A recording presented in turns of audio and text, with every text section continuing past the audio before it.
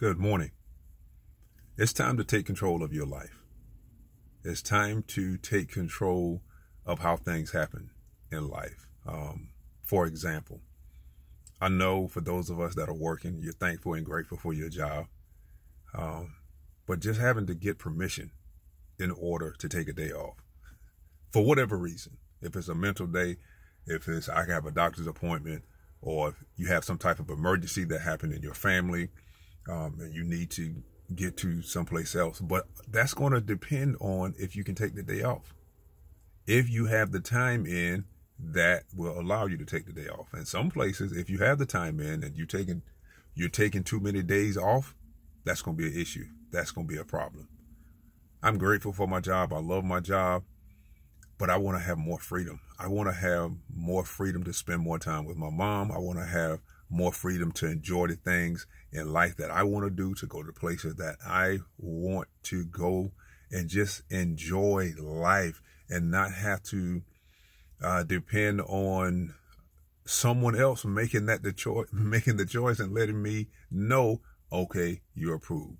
And then if you're not approved of taking that time off or doing the things that you want to do to take control of your life, then it's going to bring about these emotions like, man, I really, I can't do this because if I do it, I may lose my job. If I do it, the consequences may be this. And can we do that? Can we put ourselves in a place where we can do more for ourselves? It's not going to depend on somebody else and what they say or what they won't say, what they're going to allow us to do, or how long they're going to allow us to do it. No, Morris, you're not going to be able to get that time off because, but I have time saved up. Yes, we understand that. But I'm at that point. I am at that point of taking control of my life. I want to invite you to do the same thing. For those of you that's sick and tired of really being sick and tired of your situation, let's do something different. Let's do something different. Just think about how it would feel to get up when you want to get up in the morning, to do what you want to do, when you want to do it, for how long you want to do it, for whatever reason you want to do it. How freeing is that? And where money won't be an issue. You can do the things you want to do. You can go where you want to go and you you you don't want it to be where I don't even have the money to do that. And a lot of people are living that way.